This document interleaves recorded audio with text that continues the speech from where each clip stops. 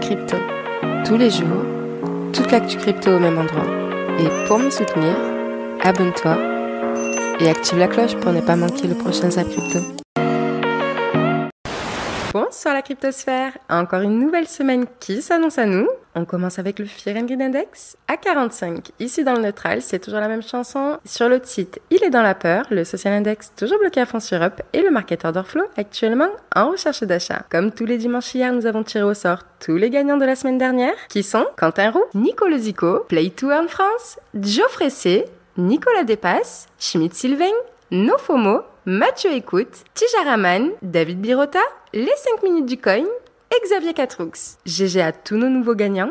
N'oubliez pas de me contacter via mes réseaux ou par mail. Pour tous ceux qui veulent voir la rediffusion du live Twitch, vous pourrez y avoir accès uniquement avec le lien qui sera partagé dorénavant tous les lundis dans le commentaire épinglé. Pour ceux qui se demanderaient pourquoi, c'est juste une question de référencement pour les stats. Beaucoup de youtubeurs créent en général des chaînes secondaires pour réupload leur live. Perso, je préfère tenter l'option de non répertorier la vidéo. C'est pour cela que vous ne pourrez pas trouver par vous-même la rediffusion. Comme tous les lundis, le Crypto risque d'être un peu long, alors n'oublie pas que tu peux retrouver en description tous les chapitres du Zap Crypto et ainsi sélectionner les titres qui te plaisent. Je vous souhaite une excellente vidéo. C'était Zap Crypto.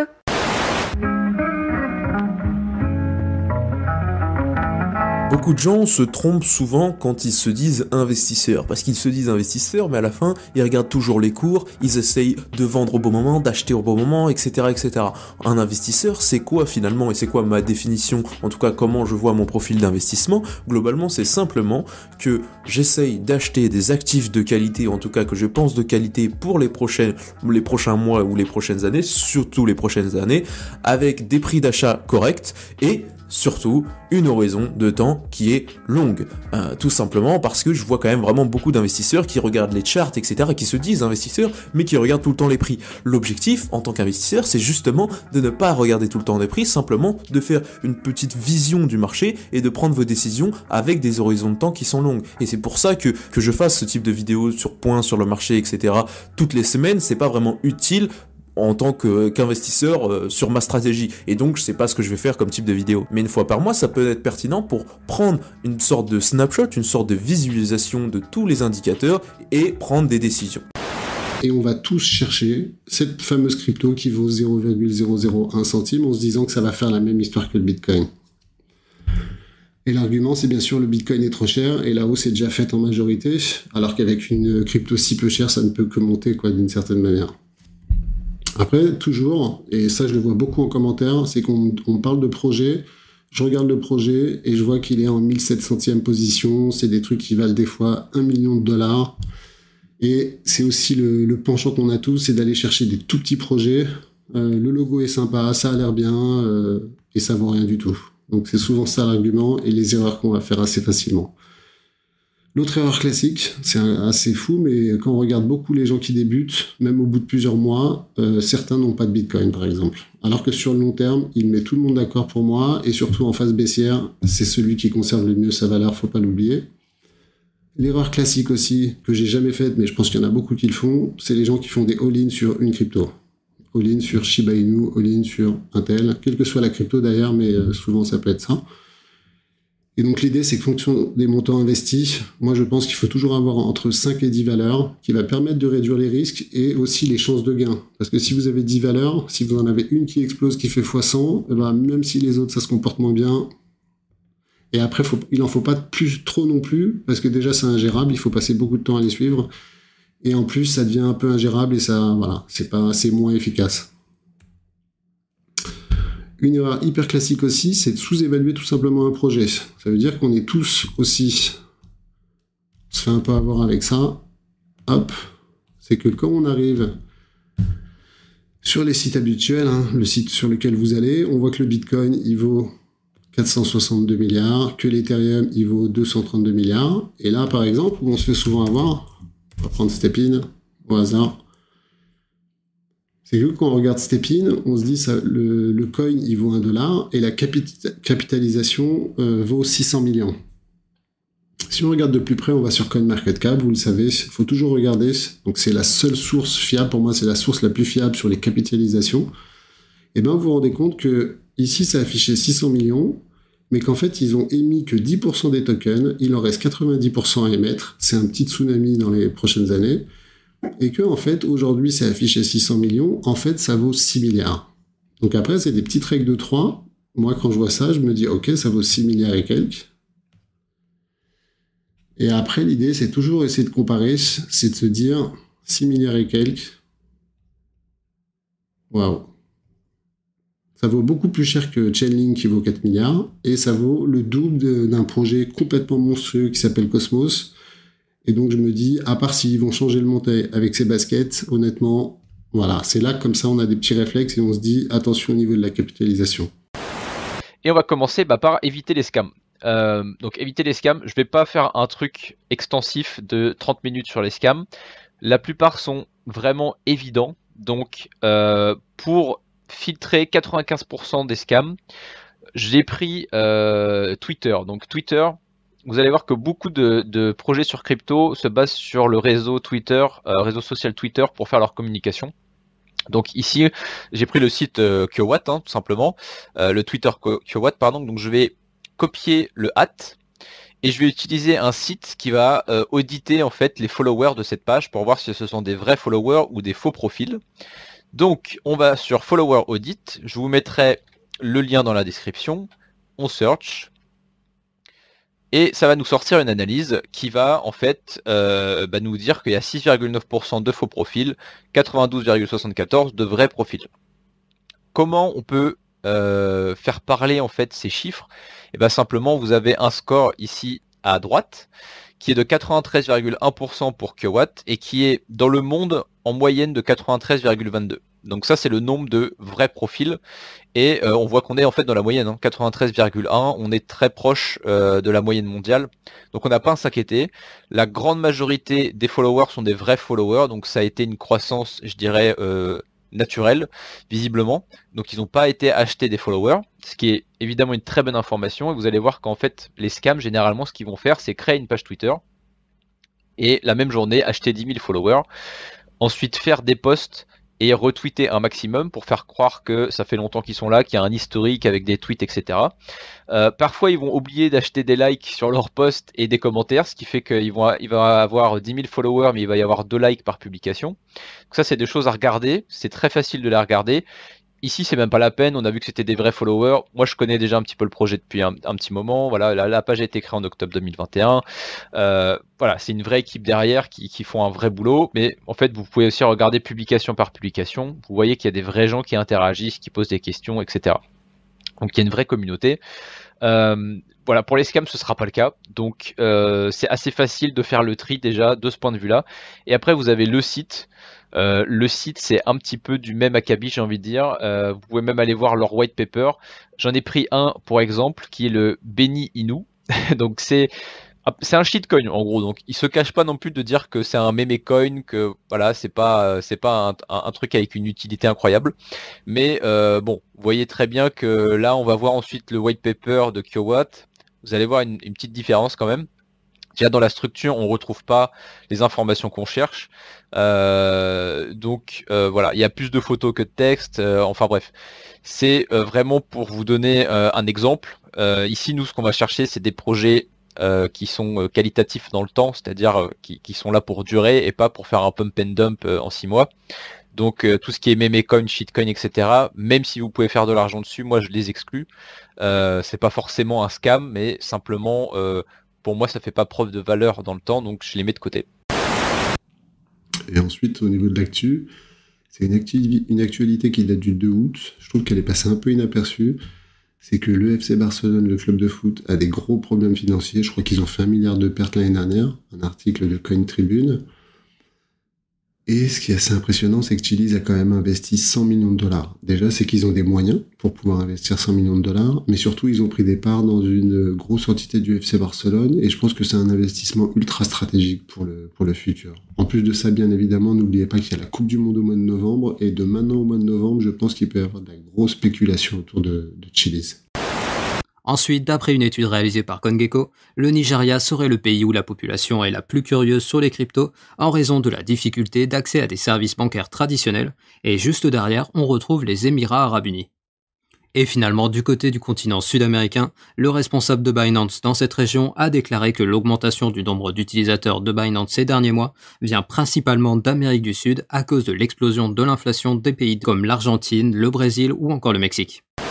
On va continuer dans les, dans les belles nouvelles. Bon, ça, ça peut être une belle nouvelle. La crypto dans le viseur des régulateurs anglais, une régulation bientôt à jour. Donc la régulation qui revient au cœur des débats en Angleterre. Ouais, mais plutôt bien amené, non? Pour l'instant, il semblerait. Tu peux nous en dire plus? C'est le Royaume-Uni qui est en train d'effectivement de, de, se poser la question de, de, la régulation euh, chez eux et qui ont donc mandaté les, des principaux acteurs majeurs de, de l'écosystème pour effectivement faire un rapport sur les différentes réglementations, les différentes utilisations de tout ça et pour pouvoir euh, derrière le réglementer dans, dans, les meilleures conditions. Alors comme on le disait en introduction euh, dans la discussion privée, c'est ça se trouve ils sont en train de dégueuler à moitié tellement ça les rebute. Euh, mais en attendant, euh, je trouve que la démarche est plutôt saine, c'est-à-dire de, de, se référer aux gens qui sont du secteur, tu vois, les professionnels du secteur, le pour le contre. Bah voilà, et il faudra juste voir plus près de ce qui se fait. Il faut vraiment voir si la consultation qui est en train d'être faite des professionnels du secteur va être vraiment pris en compte. C'est bien de dire oui, on va faire appel aux professionnels du secteur pour voir comment ça fonctionne et pour essayer de faire quelque chose qui est cohérent et au mieux pour le développement de cette technologie, tu vois. Et à la fin, prendre ce rapport et se dire, bon, en fait, c'est de la merde, on va faire nous ce qu'on a envie, sans prendre l'avis de ces professionnels. C'est à ça que je pense, moi. Je voulais maintenant vous parler de, de l'Iran. J'avais fait une news sur le sujet il y a quelques temps. Là, on a le vice-ministre de l'industrie qui a tweeté quelque chose en persan que je ne comprends pas, mais merci euh, Google Traduction pour nous aider à comprendre. Il dit que la première commande d'importation officielle a été réalisée avec 10 millions de dollars en crypto et euh, d'ici fin septembre, l'utilisation des crypto-monnaies et des smart contracts sera généralisée dans le commerce extérieur avec les pays cibles. Donc on peut s'attendre à ce que l'Iran utilise de plus en plus les cryptos pour pouvoir importer des choses et contourner l'embargo euh, qui a été mis en place par les États-Unis sur l'utilisation du dollar, etc. Donc là aussi, euh, par exemple, c'est un autre risque euh, au niveau des États parce qu'ils risquent de dire regardez l'Iran contourne toutes les sanctions grâce aux cryptos, il faut interdire toutes les cryptos, il faut mettre en place euh, des, du KYC ou je, je, ne sais quoi, et ça aussi ça peut avoir un impact. Toutes ces informations, on va dire négatives un peu sur les cryptos, ça peut se répercuter au final par des sanctions, par des réglementations qui peuvent être vraiment contraignantes et ralentir l'adoption des crypto-monnaies. La Banque de Russie vise le lancement complet du rouble numérique en 2024 ça va être la course un peu maintenant hein, entre euh, la Russie, euh, les USA, euh, l'Europe, le, la Chine, avec avec cette monnaie numérique. Hein, ce qui est un peu le problème qu'on aura peut-être un peu là-dessus quand même, c'est qu'une fois qu'ils auront bien consolidé notre, leur monnaie numérique, je sais pas comment ils vont réussir ou faire en sorte de manger un peu la DeFi. Ça, c'est encore un autre problème. Donc c'est des choses qui viendront à longueur de temps. On verra ça avec le temps évidemment. On peut pas les deviner, on peut pas, on n'a pas de boule de cristal pour ça. Le gouverneur de la banque centrale zimbabwéenne, John Mongudia, a récemment déclaré que son organisation a élaboré une feuille de route pour l'adoption de la CBDC, monnaie numérique de la banque centrale au Zimbabwe. Mongudia a également révélé que deux startups fintech avaient été admises dans le bac à sable réglementaire fintech de la banque centrale. Près de six mois après avoir annoncé l'intention de la banque de réserve du Zimbabwe, RBZ, d'explorer la faisabilité du lancement d'une monnaie numérique de banque centrale, le gouverneur de la banque, John Mongudia, a récemment révélé que la Banque centrale avait maintenant une feuille de route pour la monnaie numérique envisagée. Définissons ce qu'est le modèle japonais, car il est tout à fait singulier dans le monde occidental. Pour le dire simplement, le Japon a une situation inversée par rapport aux USA. Le modèle américain peut être comparé à celui de la cigale qui se développe grâce au flux économique à l'instant T en pariant que l'année prochaine sera toujours plus belle que l'année en cours. En conséquence de quoi, les USA accumulent des déficits budgétaires car ils font le pari de l'investissement, tandis que le modèle japonais est celui de la fourmi, capitalise une grande partie de ses richesses produites pour acheter des actifs à l'étranger. En conséquence, ce que l'on appelle la position extérieure nette, c'est-à-dire l'endettement vis-à-vis de l'étranger, des deux pays est totalement opposé. D'un côté, les USA sont terriblement endettés face au monde, et de l'autre, le Japon est un des grands créanciers de la planète. Cette situation a une conséquence très singulière sur la monnaie de ces deux grands pays. En période de récession, le dollar a tendance à baisser puisque les flux économiques se réduisent et la dette des USA semble plus lourde à porter. Petit bémol, je parle de récession et non pas de crise aiguë comme on en connaît aujourd'hui car le dollar représente aussi un refuge pour une bonne partie de la planète lorsque des séismes économiques et financiers majeurs se produisent. Dans les mouvements de panique, le dollar monte toujours et ensuite il baisse lorsque l'amplitude de la crise devient discernable. Il n'en reste pas moins que le dollar est une monnaie fragile qui monte en période de croissance et baisse en période de récession, comme la grande majorité des monnaies d'ailleurs. Par contre, le yen a une évolution inverse. Il monte lors des récessions et baisse lors des phases de croissance. Cette situation est due à sa position extérieure nette et son comportement de fourmi. Lorsque l'économie est en croissance, le Japon investit à l'étranger. Or, pour acheter à l'étranger, il faut que le Japon vende des yens. Donc, c'est une pression baissière. Par contre, en cas de crise économique, le Japon arrête ses investissements à l'étranger, ce qui a pour effet de couper une importante partie des flux vendeurs sur le yen, donc il monte. Et c'est comme ça que le yen devient antifragile. Et sur, euh, alors du coup, sur la partie euh, effectivement que tu citais tout à l'heure, ça fait la boucle USDC. On vous accuse d'être un rap du, euh, du USDC. Euh, là, comme il y a quelques jours, à, au moment de l'enregistrement de ce podcast, il y a eu ce fameux freeze du USDC euh, sur certaines adresses qui avaient utilisé Tornado. On aura l'occasion d'en reparler dans un autre podcast d'un point de vue plus euh, juridiction américaine et tout ça. Mais est-ce que ça aussi, ça a été un signal où vous vous êtes dit, OK, il faudra peut-être faire attention à, à l'avenir ou est-ce que bah, ça fait partie du jeu et si on se, dirige vers une réglementation, bah, ça fait partie de la réglementation. Alors, il faut être très clair. On nous accuse, c'est vrai, d'être un wrapper du SDC, mais depuis le début, en fait, notre, notre objectif, c'est de se débarrasser de toute cette euh, amas de USDC qu'on a sur notre euh, bilan. Car ça nous, comme dit, ça nous rapporte rien, donc il n'y a aucun intérêt à le, conserver. La problématique, c'est que MakerDAO est un protocole tellement euh, réussi, tellement de gens veulent détenir des DAI, bah, qu'il n'y a pas assez d'opportunités d'investissement euh, dans la finance décentralisée. Donc, on est justement en train d'essayer de créer ce bridge euh, vers la finance traditionnelle pour avoir ces opportunités d'investissement. Euh, donc, c'est pour ça que bah, on travaille dessus depuis presque deux ans maintenant, disons un peu moins. Euh, mais bien sûr, l'objectif, c'est pas de garder 80% de notre bilan en USDC. Ouais. On travaille avec d'autres fournisseurs de stablecoin aussi pour diversifier le risque. Notre objectif à terme, c'est vraiment d'avoir un risque diversifié et de sécuriser au maximum pour les détenteurs de DAI. Je voudrais quand même revenir sur ce qu'on appelle le trilemme technique, qui est le trilemme bah, décentralisation, sécurité, scalabilité. J'ai déjà traité un petit peu dans le milieu des cryptos. Normalement, vous avez déjà entendu parler de ce fameux triangle avec ces trois, ces trois coins qui a été théorisé par, euh, bah, Vitalik Buterin lui-même euh, et qui dit que euh, aujourd'hui les projets en crypto doivent répondre, enfin pour être on va dire parfaits, doivent répondre à trois enjeux qui sont les enjeux de, bah, de décentralisation, de sécurité, de scalabilité, mais qu'aujourd'hui le souci qui se passe c'est que la plupart des projets ne répondent qu'à deux coins, on va dire, enfin deux pics du triangle plutôt que les trois. Et justement, tout ce qu'il essaye de faire avec euh, IS 2.0, avec euh, de merge, de purge et ainsi de suite, il essaye en fait de faire devenir Ethereum un projet qui répond en fait aux trois conditions. Alors, le protocole Akala a été exploité, les attaquants créent artificiellement 1,2 milliard de dollars. Euh, pourquoi artificiellement euh, Parce que déjà c'est l'informatique. Et deuxièmement, c'est par un vol. Ils n'ont pas pris l'argent, ils ne sont pas tirés avec, on ne sait plus où ils sont. Ils ont fabriqué carrément, hein, ils ont créé, fabriqué carrément euh, dans le système leur monnaie. Hein. C'est comme s'ils avaient une planche à billets, qu'ils allaient à la Banque de France et qu'ils faisaient les billets, hein, qu'ils faisaient les billets, qu'ils voulaient partir avec. Sauf que là, on les a bloqués. Ils sont donc bloqués dans le système. Pour l'instant, ils ne peuvent pas les sortir. Le seul problème de ça, on va voir comment ça va se terminer, on va voir qui sont gens, qui, qui sont ces gens ni quoi que ce soit. Le seul problème de ça, c'est que ça a joué, puisque c'est cette monnaie qui a été faite, ça, ça joue sur les stablecoins de voilà et le AUSD. Donc le gros problème maintenant, c'est que en jouant sur le stablecoin, celui-ci a perdu un peu sa parité. Vous voyez, on a un graphique. Moi j'aime bien les graphiques parce que vous comprenez parfaitement ça. Normalement, le prix fait ce que vous voyez ici, comme ça, hein, vous voyez avec ma flèche, hein, il doit être tout droit comme ça. Et là, d'un seul coup, boum, vous voyez comment il tombe.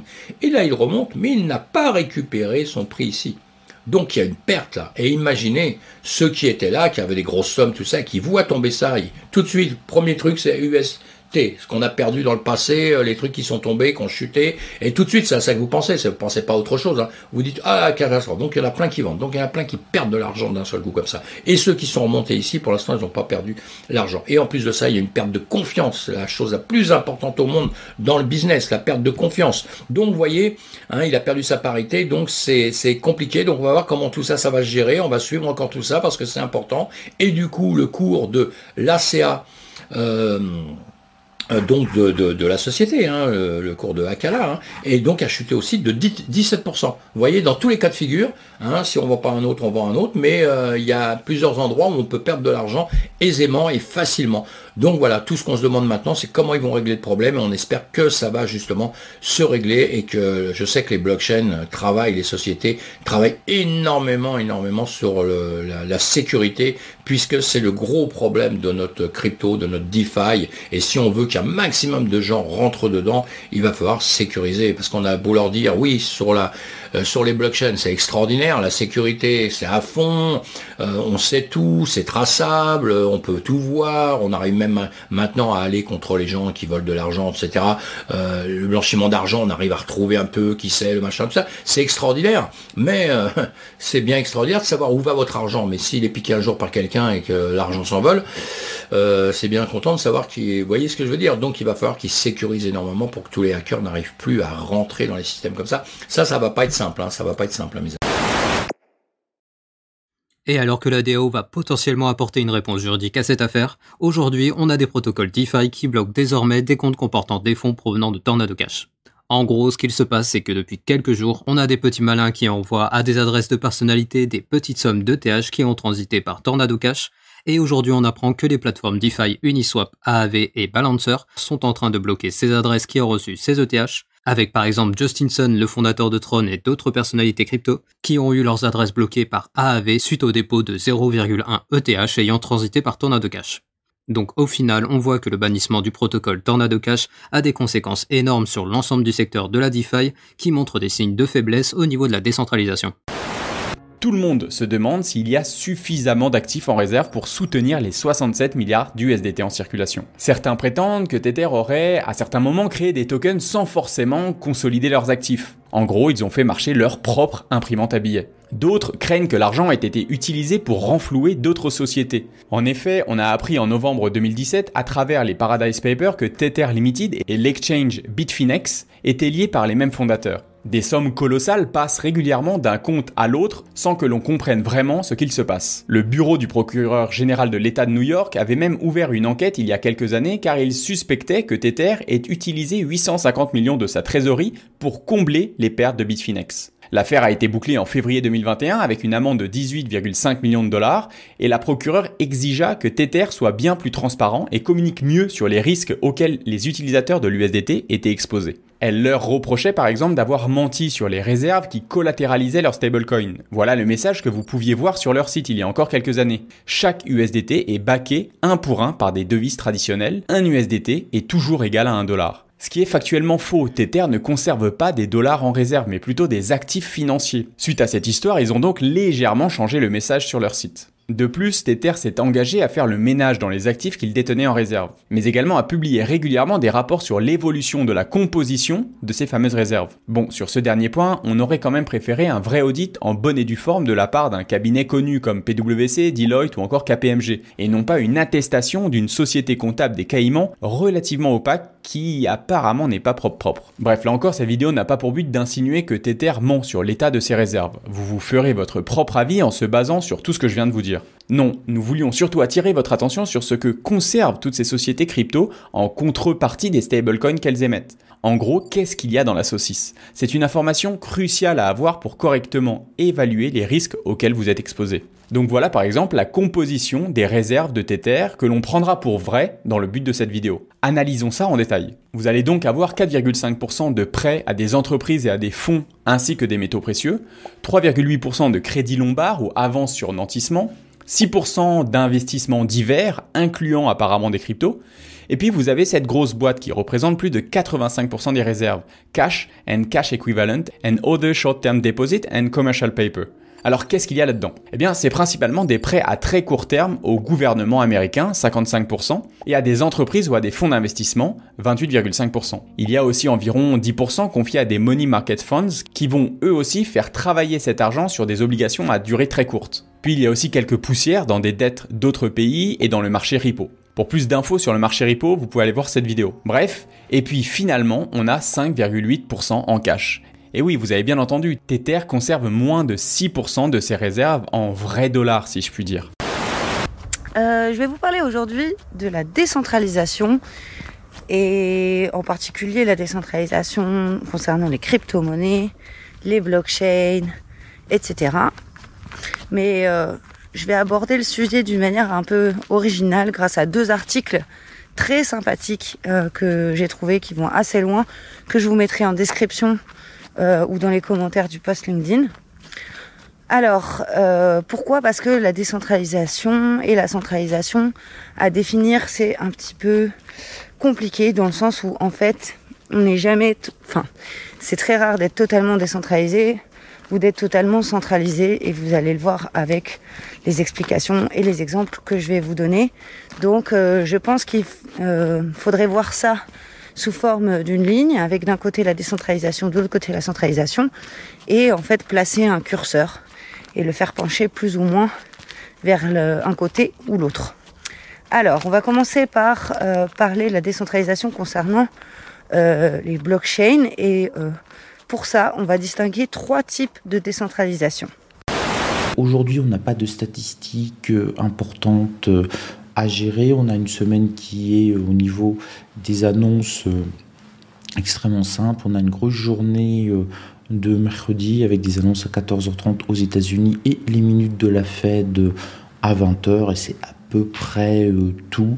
En tout cas, aujourd'hui, on n'a aucune statistique importante et on reste sur un climat qui est extrêmement optimiste pardon pour les pour le marché action parce que ça on a, on a fait quatre semaines consécutives de hausse et les actions profitent avant tout du ralentissement de l'inflation aux États-Unis d'Amérique et surtout l'espoir, notamment pour les entreprises du Nasdaq, que les taux de la Fed ils vont continuer d'augmenter, on en est sûr. Les dirigeants de la Fed ont bien insisté euh, dessus la semaine dernière, mais peut-être moins vite et de manière moins importante qu'on le pense.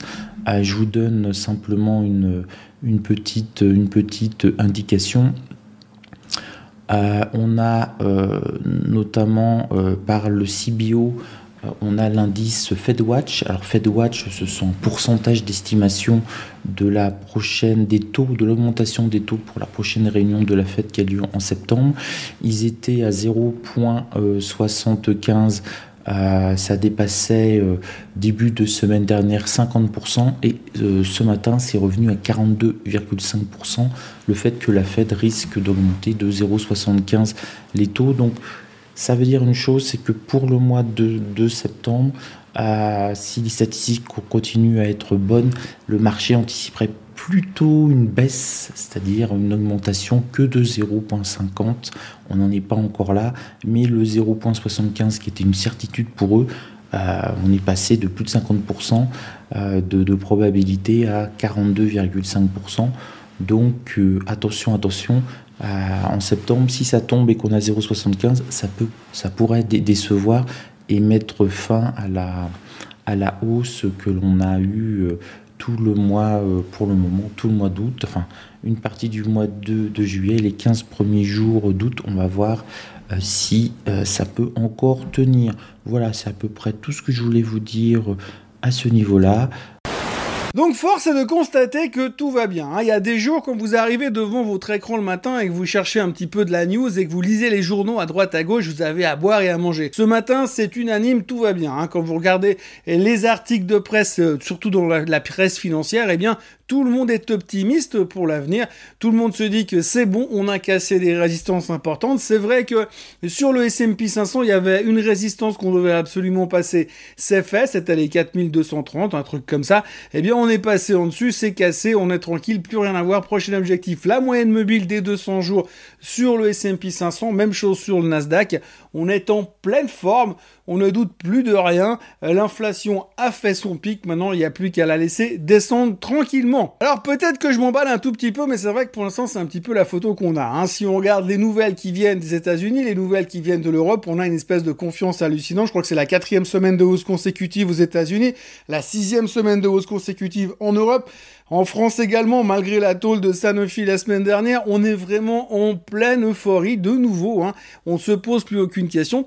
Et ce matin, quand je lisais les quelques articles dont je vous parlais tout à l'heure, eh bien, vous avez des mecs, par exemple, chez Funstrat, Funstrat qui est un analyste technique américain. Alors eux, ils ont déjà parié que le marché sera de retour au plus haut de tous les temps, quasiment à la fin de l'année. En tous les cas, il aura effacé ses pertes annuelles, donc il y a encore un tout petit peu de boulot, mais ils sont super confiants. On est en train de casser les bons niveaux. Ce qui est assez intéressant à regarder dans la globalité, sans vouloir être bearish, sans vouloir être négatif, c'est que finalement, on se concentre sur un point de l'inflation, un point euh, des chiffres de l'emploi de la semaine dernière, et du coup on se dit, eh bien voilà, tout va bien, on regarde plus le reste. Hein. Tous les problèmes qui peuvent traîner quelque part aujourd'hui sur la planète, on s'en moque cordialement. Je citerai juste au hasard euh, les autorités allemandes qui annoncent quand même qu'il faut réduire la consommation d'énergie de 20% afin de ne pas être short énergie cet hiver pour quand les Russes vont nous couper le gaz. Donc en gros, on sent que c'est pas super serein de ce côté-là, mais c'est pas grave. Hein. Nous de l'autre côté, on s'en fout. Le DAX est au plus haut depuis des semaines et des semaines et tout se passe pour le mieux dans le meilleur des mondes, comme j'ai tendance à le dire peut-être un peu trop souvent.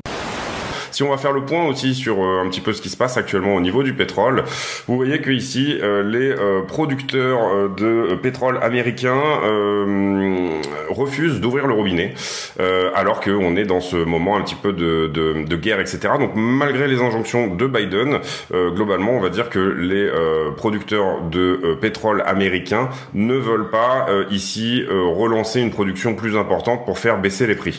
C'est le même cas du côté de. L'OPEC qui dit que euh, bah, c'est un petit peu la même chose, c'est-à-dire ils disent bah, de toute façon on sera probablement en récession bientôt, donc on sera euh, en surplus, on aura en gros euh, du pétrole sur les bras, tout ça il faut le stocker, etc. Donc non, on va pas rouvrir les robinets non plus.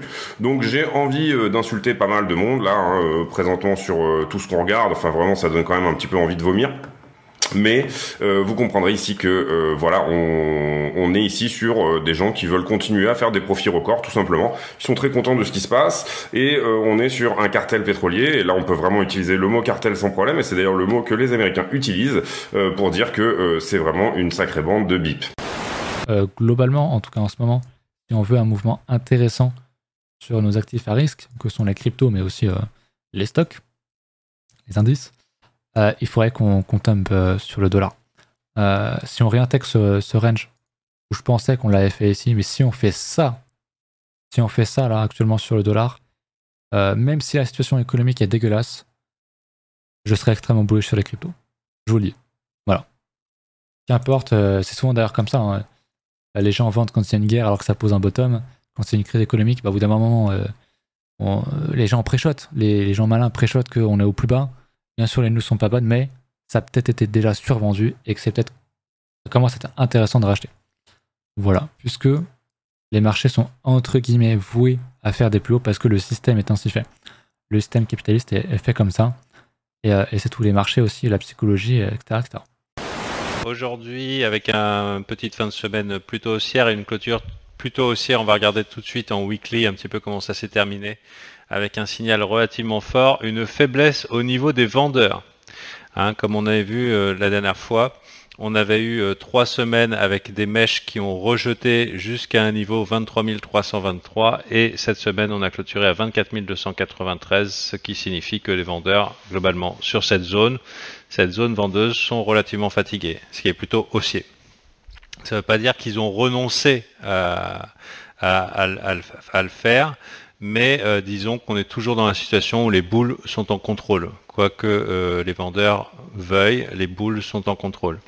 Ce qui signifie que euh, les plaies les plus probables pour le moment, en weekly en tout cas, c'est de continuer à acheter les dips. hein, Jusqu'à épuisement, on en a parlé. Le marché, puisqu'il est très boule, ne se fatiguera pas facilement et il a déjà commencé. Euh, Il y a des dips, on rachète les dips et éventuellement on voit. Et à force de le faire, éventuellement ça fatigue. C'est peut-être ce qu'on peut constater ici. On va regarder un petit peu dans des unités de temps inférieures. Mais pour l'instant, les plays les plus probables, les plus faciles, ce ne sont pas les shorts. Ça ne veut pas dire que c'est pas un bon play hein, de short, mais euh, les plus probables, les plus faciles, c'est d'acheter des dips. C'est quoi acheter un dip? Ça veut dire acheter une chute, attendre que les vendeurs se fatiguent et euh, viser le retour à la résistance ou alors plus haut. Ça peut se faire sur BTC ou ETH qui est actuellement un asset prioritaire. Donc sur le journalier, on a toujours cette dynamique haussière avec ces fameux creux et euh, sommets ascendants. D'ailleurs, on a fait un nouveau sommet aujourd'hui qui, encore une fois, se fait repousser. C'est euh, vraiment systématique, euh, ça, de- depuis pas mal de temps, depuis en fait qu'on a fait cette zone du premier arrêt. À chaque fois, vous le voyez ici, dès qu'on fait des sommets, on a des mèches. À chaque fois, on se fait en fait repousser, mais pour, euh, pour le coup, on revient tout le temps et on continue de faire des nouveaux sommets. Donc bon, euh, peut-être que c'est euh, les vendeurs en fait qui, bah, qui justement en voyant ces mèches se mettent en, short, tentent des shorts et au final se font défoncer. Et donc on continue de pousser. Parce que c'est vrai que ça c'est pas quelque chose de très positif hein. quand vous voyez des mèches sur des zones de résistance en théorie ça peut signifier que voilà il y a, peut-être un, retournement de, tendance qui va se mettre en place. Mais pour le moment on ne le constate pas du tout. Donc il faut rester lucide. Il faut pas se faire berner par, par ces mèches. Même si voilà elles, émettent quand même des, des, des signaux de, de vigilance mais ce qu'on constate c'est que le prix continue de hausser et ça c'est quand même le plus important et surtout on constate aussi une autre chose, les creux ne sont pas euh, cassés. On ne casse pas les creux, on n'a jamais cassé pour le moment les creux. Et, donc ça aussi c'est un signe quand même important qui montre bien que la tendance est haussière. Et, euh, et c'est le plus important. Au niveau des moyennes mobiles, on a enfin le croisement dans le bon sens. Donc ça aussi c'est un autre signe positif. Le EMA 21 en bleu qui passe au-dessus de l'EMA 50 avec pas mal de, momentum. hein. Elle passe, euh, elle passe, euh, voilà, elle passe pas à plat. euh, le croisement se fait pas à plat, mais plutôt comme ça, presque à la verticale pour la bleue. Donc ça c'est plutôt positif aussi. Et dernier point au niveau du, du RSI, regardez, on n'a toujours pas cassé la trend qu'on tient depuis le niveau des 17 000 dollars. Donc ça faudra bien surveiller si jamais on vient à la casser parce que ça pourrait nous donner un signal de retournement de tendance plus puissant. Là au niveau euh, des, euh, des sommets aussi, on voit que depuis euh, ici donc le niveau des euh, 23 300 dollars à peu près depuis le premier arrêt en fait, ben, on pinaille hein, justement avec ces, mèches tout ça, on a du mal vraiment à- à relancer fortement le prix, mais ici on a réussi donc à faire un nouveau sommet plus haut que ici, donc ça c'est quand même positif parce que sinon on pourrait avoir une divergence qui pourrait se mettre en place. Donc là pour le coup elle n'y est pas, on fait un nouveau sommet et on poursuit notre hausse sur le BTC. On va regarder rapidement Ishimoku. On est dans une zone très importante en daily sur lequel on voit qu'on est en train d'essayer de passer le Kumo. On a la LS, la Lagging Span qui est en train de travailler aussi cette zone-là. Euh, on a quand même une grosse grosse résistance à 25 000, très très grosse résistance. Si on casse par-dessus, en tout cas en termes d'Ishimoku, ça veut dire qu'on va aller chercher beaucoup plus haut. On va aller chercher les 28 900. Si on regarde un petit peu ce qui est en train de se mettre, c'est le prochain apply, il se trouve ici. Donc sur lequel on aura une grosse progression et on aura un gros signal d'achat si on traite sur du Ishimoku avec derrière une continuité haussière. Et c'est en même temps ce qui est en train de se voir un petit peu en weekly. On regarde, là on a eu un gros signal sur lequel on a passé, on a validé, donc on est en train d'accélérer en hausse. Et là, sur Ishimoku, en weekly, on a quelque chose qui est beaucoup plus haut, c'est 32 800, d'accord, en, perspective. Le prochain apply, il est à 38 000 euh, dessus, donc on a quand même une certaine euh, volonté haussière qui est en train de se mettre au niveau d'Ishimoku. D'ailleurs, euh, ce qui est assez impressionnant, c'est aussi le fait que le Bitcoin j'ai pris celui de Binance, comme ça on a les volumes d'un gros porteur. Ben, on voit que le Bitcoin, il est, euh, il est en mode euh, sleeping. Et pour l'instant, il n'a pas. Bon, je dis pas que peut-être ça va se réveiller là, mais euh, pour l'instant, on a ce qu'on appelle un, un flag, un bear flag, c'est-à-dire un- une figure de continuation euh, baissière qui est un drapeau. euh, vers euh, un drapeau baissier, pardon. Euh, C'est-à-dire là, vous voyez, vous avez la, le manche et puis là, vous avez le drapeau. Et euh, on voit qu'il n'y a pas de volume non plus ici. On peut constater qu'il n'y a pas vraiment beaucoup de volume. Donc ça reste quand même assez sceptique. On le voit sur euh, la crypto là actuellement que c'est un petit peu plus euh, sceptique. Alors, pas toutes les cryptos, euh, mais on voit que le gros porteur comme le Bitcoin, lui, est pas, euh, vous voyez, ça monte, mais là on voit que les volumes descendent. Euh, donc le momentum, il n'est pas extrêmement puissant. Donc est-ce que ce sont des recouvertures de, de short On n'a pas forcément beaucoup de volume, mais on gratte, on gratte, on gratte, on gratte vers le haut. Donc euh, à la fin, on se dit, euh, quand on regarde le graphe, il est bearish. N'importe qui euh, euh, de sensé va se dire, mais non, mais Bitcoin, il doit devrait tomber. Mais Bitcoin ne fait que gratter vers le haut, gratter, gratter petit à petit. Donc dans le fond, ben, tant qu'il ne veut pas tomber, c'est bullish. Même si dans, dans, dans le graphe, c'est pas beau, le truc ne veut pas tomber. Il ne fait que monter, monter, monter. On vient retester des, des supports. On est venu retester cette petite mèche ici. Euh, des supports de résistance. On est venu retester. Mais petit à petit, on monte, on monte. On monte doucement, mais on monte. Donc, euh, à la fin, euh, Bitcoin et boule. Qu'est-ce que nous propose? Le TH Pam on va mettre ici, paf. Donc le TH beaucoup plus bullish. hein. Le TH il a défoncé euh, Roger tout simplement, la moyenne mobile 200. Enfin Robert, non Robert qui est le cousin Roger, qui est aux 1200 dollars à peu près. Donc il, va avoir maintenant la maman de Robert ici. Elle est à 2225 dollars. Et ça sera pas facile la maman de Robert. Si on va regarder les anciens beer market, pam pam pam, on va regarder ça. On va aller beer market 2015. Ah non, ben non, il était pas là, euh, il était pas là. on a que le 2018. Regardons le 2018. Donc le TH, qu'est-ce qu'il nous fait? Le top ici, au 1400 et quelques, 1430. Maman de Roger, on la perd, on s'enfonce. On va voir Maman de Roger, s'il te plaît, elle nous dit non, Bah, les enfers Ben oui, parce que lorsque le Bitcoin, lui, est allé voir la maman de Roger, ben, le TH est perdait beaucoup plus en dollars. Après, on va voir la maman de Roger ici, on a pour parler avec elle, elle nous laisse un petit peu passer, bam, finalement, elle nous rejette aux enfers. C'est moins propre que le Bitcoin. Parce que c'est plus volatile. C'est plus volatile. C'est un altcoin. hein. Il y a moins de capitalisation. C'est moins capitalisé. Donc, euh, les mouvements par le haut, par le bas sont plus intenses. Parce que c'est un altcoin. Voilà, tout simplement. La Roger, on passe au-dessus. Elle nous rattrape. Elle nous dit non. Bam, on se renforce. Maman de Roger, on la récupère. Elle est sympa. C'est parti pour le bull run. Voilà. Donc, on a moins de données que pour, euh, le Bitcoin. Donc, c'est pour ça que vaut mieux regarder plus précisément le Bitcoin. Parce que c'est lui le patron, hein, le Bitcoin. Donc là, le TH, il est, très bullish. Par contre, alors, moi, je vous dis mon opinion, mais faites ce que vous voulez avec. hein, c'est que lorsque ça fait une, deux, trois, quatre, cinq, six semaines que tu es dans le vert, que dans les six semaines, tu fait plus euh, 101%, il faut vraiment avoir des grosses coucougnetas bien pleines pour pouvoir rentrer maintenant. hein. Euh, voilà, parce que moi, personnellement, j'attends une correction. hein. Alors, la correction, c'est simple, je prends le plus bas et je prends le plus haut, et j'attends de voir. Voilà, un- une bonne correction, attendre les 1600, les 38 du de Fibo. Si jamais ça perd le premier palier ici, les 1637 dollars, c'est avoir la zone de rechargement qui est entre les 1004 et les 1002. Voilà. Et là, c'est intelligent. Recharger un petit peu là, pourquoi pas? Pourquoi pas vraiment pour les gens qui se disent c'est méga bullish, on va faire ça et bam, on va repartir to the moon, pourquoi pas? Et recharger ici dans la zone de rechargement de, de la poussée qu'entre les 1002 et les 1004, là c'est encore plus intelligent. Parce qu'on se dit, bon, on, on- on- recharge dans une zone où les professionnels rechargent aussi, tu vois. Après, se dire, non, moi j'attends le TH à 800 dollars. Bon, tu, on sait pas, on peut attendre toute notre vie, hein, donc on sait pas trop. Faut, faut, faut mettre un peu de l'eau dans son pinard, hein. Bon. Je voulais vous parler maintenant de NFT avec un exchange, une nouvelle solution de, pour acheter et vendre des NFT qui est en train vraiment de monter en flèche. Ça s'appelle SudoSwap et euh, contrairement au marketplace classique de type OpenSea, Magic Eden, etc., il n'y a pas de royalties sur SudoSwap. Il n'y a aucune royalties qui est payée aux, euh, projets qui sont derrière les NFT. Donc pour ceux qui ne savent pas, quand vous, quand vous achetez des NFT, vous les revendez, euh, vous les revendez à quelqu'un, et ben vous payez des transactions, des frais de transaction, même des royalties qui remontent aux projets principaux. Donc on a certains projets qui ont des NFT, qui ont des royalties très élevées. Gary Vee, euh, les, ces projets, je crois que c'est de l'ordre de 10%, c'est énorme. D'autres, on est plus autour de 4-5%. Je dirais qu'en moyenne, on est entre 2 et 5% sur les projets NFT, ce qui permet en fait de rémunérer continuellement les, les, auteurs de ces NFT. Donc c'est sorte d'œuvres d'art euh, numériques pour simplifier les choses.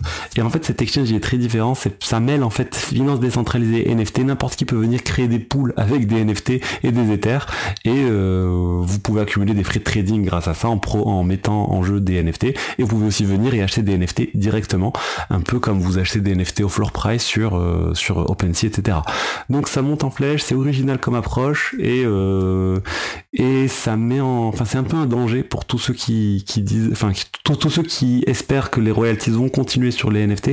Moi je pense qu'il y a un risque que ça s'arrête en fait, parce qu'il n'y a rien qui, qui force de mettre en place les royalties. C'est plus un choix, un choix des plateformes d'achat et de vente de NFT de mettre en place les NFT. Il n'y a rien au niveau de la blockchain qui peut forcer l'usage des NFT. Et même s'il y a quelque chose qui peut forcer l'usage des NFT, il y a des moyens pour contourner ces royalties. Il y a des moyens, euh, en fait, on peut créer des euh, smart contracts, on peut wrapper en fait, on peut emballer les NFT dans d'autres euh, NFT ou dans d'autres smart contracts qui eux ne seront pas assujettis à ces, à ces royalties. Donc attention à ces royalties, j'ai vraiment, j'ai hâte de voir qu'est-ce qui va se passer avec tout ça, quel va être le, comment vont réagir les autres exchanges? Parce que si un exchange propose 0%, 0 de royalties, je pense que forcément les gens vont commencer à trader sur cet exchange et c'est un peu ce qu'on entend sur SudoSwap. En plus des fonctionnalités intéressantes, il n'y a pas de royalties. Ici France Crypto qui nous partage les NFT. Donc la bulle NFT a explosé. Donc paf Voilà. Et les NFT, tu vois, le volume d'échange d'NFT, il est dérisoire. C'est de l'ordre de l'année dernière. De juillet, euh, avant juillet l'année dernière. Donc les NFT, il y a un engouement énorme. Et je le disais, alors moi j'adore les NFT, c'est super, hein je partage des, projets NFT, j'en ai partagé l'année dernière, j'en partage encore maintenant. Il y a des super projets qui ont fait des énormes performances, il y a des projets qui ont, sont tombés, qui n'ont rien fait, on ne sait pas. Quand on va sur un projet, moi j'y vais parce que j'aime le projet, j'aime ce qu'il y a derrière, j'aime sa feuille de route, et je tente. Mais je suis toujours prudent, je vais pas faire. Alors quand j'étais petit, je fais vas-y, j'y vais. Petite parenthèse, vous savez, moi je, suis beaucoup dans les discords de projets, je, suis sur plus de centaines de discords de projets, voire même plus, et je vois toujours la même musique sur tous les projets, que ce soit des play to earn, des projets NFT, n'importe quoi. T'as trois sortes de gens. T'as toujours les gens méga bullish, c'est souvent les débutants qui connaissent pas grand chose, qui disent ce projet c'est génial, c'est une révolution, c'est certain, ça va marcher, tout the mood. Moi j'ai fait all-in ou j'ai mis trop, j'ai beaucoup de sous, c'est sûr ça va marcher. C'est toujours la même musique. Hein. Donc t'as les gens qui sont euh, méga euh, méga en mode opium, c'est certain, ça va marcher. Puis, t'as le contraire, ceux qui sont non, c'est de la merde, ce projet, c'est de la merde, alors qu'ils ont même pas creusé, ils disent juste c'est de la merde. Et puis, t'as les entre-deux qui disent oui, ce projet a l'air intéressant, mais moi, je fais quand même attention parce que je préfère être sur plein de petits projets et mettre un petit peu mon, pognon sur plein de projets parce qu'on sait jamais. Certains vont marcher, certains vont pas marcher. Donc, on fait attention. Et sur les, les pourquoi je parle de ça? Parce que pendant la grosse bulle des NFT, moi qui étais tous les jours, je passais des heures et des heures et des heures, et croyez-moi, beaucoup d'heures tous les jours sur plein de projets NFT, il y avait la musique la plus forte que tu entendais, c'était c'est trop génial, ça va exploser, c'est génial, on va faire des sous, on va faire des sous. Et quand t'entends ça, quand tous les débutants, des mecs qui arrivent, qui n'ont jamais acheté une crypto, qui achètent un NFT parce qu'ils vont, ils disent ouais, avec les NFT on fait de l'argent, tu es certain que c'est une bulle et que ça va éclater. Éclater, mais fort, hein, parce que ça peut, ça peut baisser parce que c'est un bear market. Mais là, c'est vraiment éclatage, éclatage au sol. Hein. On est passé de plus de 5 milliards de transactions, même 6 milliards, à, je sais pas, 100, 200 millions. Là, c'est explosion. Donc on fait attention les amis, on fait attention. Les projets NFT, c'est comme les cryptos. Il peut, des projets vont marcher, des projets ne vont pas marcher. Il y a des projets qui ont l'air super, que ce soit crypto et NFT, qui ne vont pas marcher. Tu vois, malheureusement, parce que ben, ils trouvent pas leur, le, le, trouvent pas le monde, ils trouvent pas l'engouement de la, de, la peuplade derrière. Il y a des projets qui ont l'air éclatés, que tu dis c'est de la merde. Eux, il y a des gens, ils vont trouver l'engouement, il y a des gens, ils vont se mettre dedans, waouh, waouh, ils vont acheter, ça va exploser. Tu sais pas trop. Malheureusement, tu sais pas. Moi, je vais dans les projets que je sens bien. Certains vont marcher. Certains vont pas marcher. Donc certains où je vais acheter un NFT, je vais perdre la thune, je vais le revendre moins cher. Certains, je vais acheter un NFT, ça va super bien marcher et je vais avoir un gros rendement. C'est comme ça le monde de la crypto et, des, NFT et des play to earn. Tu ne sais pas à l'avance. On ne sait pas à l'avance, ça serait trop facile. Oui, ce projet va marcher, c'est sûr. Ben vas-y, moi je fais all-in puisque c'est certain, ça va marcher. On ne sait pas. On ne sait pas malheureusement. Pour Infinite Fleet, c'est également une bêta ouverte qui sort ce mois-ci. Visiblement, les développeurs du jeu avaient sorti une alpha qui n'a pas dû trop plaire puisqu'ils ont mis en place un Great Infinite Fleet Reset pour reprendre le jeu de zéro. Donc déjà, on peut noter que pour eux, les retours de la communauté, c'est important, et pour les joueurs, une équipe qui l'écoute, c'est important également. De ce que j'ai pu lire par-ci par-là, le jeu a été visuellement grandement amélioré, le tout en optimisant de manière bien plus efficace les ressources de votre PC. Selon eux, les PC milieu de gamme n'auront aucun mal à lancer le jeu. Le jeu est un MMO de stratégie dans l'espace dans lequel vous allez pouvoir explorer la galaxie et avoir une influence significative sur son développement. Vous incarnez un commandant au sein de la flotte conjointe de la Fédération Combined Fleet, une organisation militaire chargée de vaincre l'impitoyable menace extraterrestre Atrox. Votre objectif est simple, sauver l'humanité. Pour cela, il va falloir créer et gérer sa flotte, sécuriser les territoires et nouer des alliances avec d'autres commandants de l'espace. Sur le papier, le pitch est plutôt sympa. Si ça n'a visuellement pas encore la puissance d'un AAA, il a l'air d'en avoir sous le capot. Des sites comme PC Gamer ont fait des articles dessus, donc le grand public est également ciblé, euh, ce qui est logiquement un green flag. Au rayon des nouveautés, nouveautés pour cette bêta, on retrouve une vie tactique remaniée avec un positionnement de la flotte remaniée, un UHD euh, mieux pensé pour ne pas euh, déranger le joueur en jeu, des missions pour motiver le joueur à se dépasser. Ils ont fait également plusieurs modifications au niveau du gameplay, mais je vous invite à aller découvrir ça directement sur leur site. Le point positif du jeu est qu'il n'y a qu'un seul token et qu'il semble avoir une vraie utilité dans le jeu.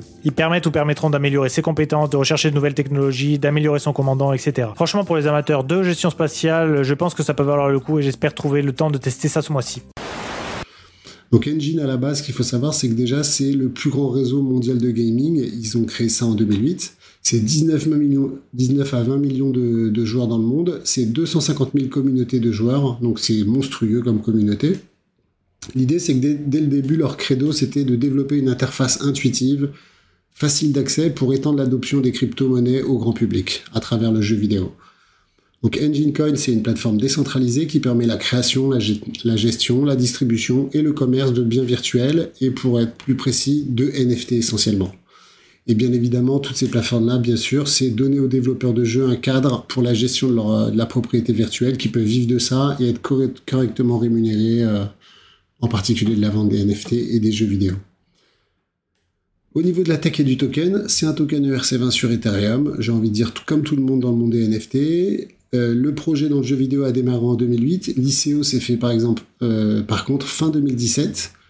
J'adore ce projet-là déjà tout simplement quand vous allez voir le white paper, il est super fluide, il est clair, il est précis, vraiment il y a tout, c'est précis, c'est très très bien présenté.